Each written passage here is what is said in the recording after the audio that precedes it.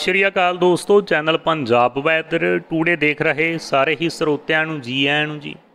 ਇਸ ਵੇਲੇ ਦੀ ਵੱਡੀ ਖਬਰ ਦੋਸਤੋ, ਤੁਹਾਡੇ ਨਾਲ ਸਾਂਝੀ ਕਰ ਰਹੇ ਹਾਂ ਜੀ, ਹੁਣੇ-ਹੁਣੇ ਮੌਸਮ ਵਿਭਾਗ ਵੱਲੋਂ ਪੰਜਾਬ ਦੇ ਮੌਸਮ ਬਾਰੇ ਆਇਆ ਇਹ ਵੱਡਾ ਅਲਰਟ ਮੀਂਹ ਪੈਣ ਬਾਰੇ ਜਾਣਨ ਦੇ ਲਈ ਵੀਡੀਓ ਨੂੰ ਅੰਤ ਤੱਕ ਦੇਖ ਲਿਓ। ਤੁਹਾਨੂੰ ਪੂਰੀ ਖਬਰ ਦਾ ਪਤਾ ਲੱਗ ਜਾਏਗਾ। ਵੀਡੀਓ ਨੂੰ ਲਾਈਕ ਚੈਨਲ ਨੂੰ ਸਬਸਕ੍ਰਾਈਬ ਅਤੇ ਵੀਡੀਓ ਨੂੰ ਵੱਧ ਤੋਂ ਵੱਧ ਸ਼ੇਅਰ ਕਰਨਾ ਨਾ ਭੁੱਲਿਓ। ਦੇਸ਼ ਦੇ ਅੰਦਰ ਹੋਣ ਵਾਲੀ ਬਰਸਾਤ ਨਾਲ ਜਿੱਥੇ ਲੋਕਾਂ ਨੂੰ ਗਰਮੀ ਤੋਂ ਰਾਹਤ ਮਿਲਦੀ ਆ, ਉੱਥੇ ਹੀ ਇਸ ਬਰਸਾਤ ਕਾਰਨ ਕਈ ਖੇਤਰਾਂ ਦੇ ਵਿੱਚ ਭਿਆਨਕ ਹਾਦਸੇ ਵਾਪਰਨ ਦੀਆਂ ਖਬਰਾਂ ਸਾਹਮਣੇ ਆਮ ਹੀ ਆਉਂਦੀਆਂ ਹਨ, ਜਿਨ੍ਹਾਂ ਵਿੱਚ ਲੋਕਾਂ ਦਾ ਭਾਰੀ ਜਾਨੀ ਅਤੇ ਮਾਲੀ ਨੁਕਸਾਨ ਵੀ ਹੋ ਜਾਂਦਾ ਹੈ, ਜਿੱਥੇ ਲੋਕ ਪਹਿਲਾਂ ਗਰਮੀ ਦੇ ਕਾਰਨ ਤੜਫ ਰਹੇ ਹਨ, ਉੱਥੇ ਹੀ ਹੁਣ ਹੋਣ ਵਾਲੀ ਬਰਸਾਤ ਨਾਲ ਲੋਕਾਂ ਨੂੰ ਗਰਮੀ ਤੋਂ ਰਾਹਤ ਮਿਲ ਗਈ ਅਤੇ ਮੌਸਮ ਦੀ ਤਬਦੀਲੀ ਕਾਰਨ ਵਾਪਰਨ ਵਾਲੇ ਹਾਦਸਿਆਂ ਦੇ ਵਿੱਚ ਵੀ ਵਾਧਾ ਦਰਜ ਕੀਤਾ ਗਿਆ। ਇਸ ਸਮੇਂ ਪੰਜਾਬ ਵਿੱਚ ਜਿੱਥੇ ਹੱਦ ਤੋਂ ਵੱਧ ਹੋਣ ਵਾਲੀ ਬਰਸਾਤ ਫਸਲਾਂ ਲਈ ਹਾਨੀਕਾਰਕ ਸਾਬਤ ਹੋ ਰਹੀ ਆ, ਉੱਥੇ ਹੀ ਹੜ੍ਹਾਂ ਵਾਲੀ ਸਥਿਤੀ ਪੈਦਾ ਹੋ ਗਈ ਆ। ਪਹਿਲਾਂ ਹੀ ਪੰਜਾਬ ਦੇ ਗਵਾਂਢੀ ਸੂਬੇ ਹਿਮਾਚਲ ਪ੍ਰਦੇਸ਼ ਵਿੱਚ ਵੀ ਬਰਸਾਤ ਕਾਰਨ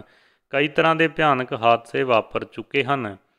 ਪੰਜਾਬ ਦੇ ਦਰਿਆਵਾਂ ਦਾ ਪਾਣੀ ਪੱਧਰ ਪਹਿਲਾਂ ਦੇ ਮੁਕਾਬਲੇ ਵੱਧ ਗਿਆ ਹੈ। ਮੌਸਮ ਵਿਭਾਗ ਵੱਲੋਂ ਪੰਜਾਬ ਦੇ ਮੌਸਮ ਬਾਰੇ ਵੱਡਾ ਅਲਰਟ ਜਾਰੀ ਕੀਤਾ ਗਿਆ ਹੈ। ਮੀਂਹ ਪੈਣ ਦੀ ਜਾਣਕਾਰੀ ਸਾਹਮਣੇ ਆਈ ਆ। ਬੀਤੇ ਕੱਲ ਵੀ ਵੱਖ-ਵੱਖ ਜ਼ਿਲ੍ਹਿਆਂ ਦੇ ਅੰਦਰ ਬਰਸਾਤ ਹੋਣ ਦੀਆਂ ਖਬਰਾਂ ਸਾਹਮਣੇ ਆਈਆਂ ਸੀ। ਉੱਥੇ ਹੀ ਪੰਜਾਬ ਦੇ ਵਿੱਚ ਦੋ ਦਿਨਾਂ ਦੌਰਾਨ ਹੋਣ ਵਾਲੀ ਬਰਸਾਤ ਵੀ ਮੌਸਮ ਵਿਭਾਗ ਵੱਲੋਂ ਜਾਣਕਾਰੀ ਸਾਂਝੀ ਕੀਤੀ ਗਈ ਆ, ਜਿਸ ਵਿੱਚ ਪੰਜਾਬ ਖੇਤੀਬਾੜੀ ਯੂਨੀਵਰਸਿਟੀ ਦੇ ਮੌਸਮ ਵਿਭਾਗ ਦੀ ਮੁਖੀ ਡਾਕਟਰ ਪ੍ਰਭਜੋਤ ਕੌਰ ਹੋਰਾਂ ਵੱਲੋਂ ਕੁਝ ਜਾਣਕਾਰੀਆਂ ਸਾਂਝੀਆਂ ਕੀਤੀਆਂ ਗਈਆਂ ਹਨ। ਉਹਨਾਂ ਨੇ ਦੱਸਿਆ ਕਿ ਸਤੰਬਰ ਮਹੀਨੇ ਵਿੱਚ ਹੋਣ ਵਾਲੀ ਬਰਸਾਤ ਸਾਰੇ ਰਿਕਾਰਡ ਤੋੜ ਦੇਵੇਗੀ, ਕਿਉਂਕਿ ਸਤੰਬਰ ਮਹੀਨੇ ਵਿੱਚ 24 ਘੰਟਿਆਂ ਦੌਰਾਨ ਬਰਸਾਤ 113 ਐਮ ਐਮ ਦੇ ਕਰੀਬ ਹੋਈ ਆ ਸਤੰਬਰ ਮਹੀਨੇ ਵਿੱਚ ਵੈਸੇ 101 ਐਮਐਮ ਬਰਸਾਤ ਹੁੰਦੀ ਆ।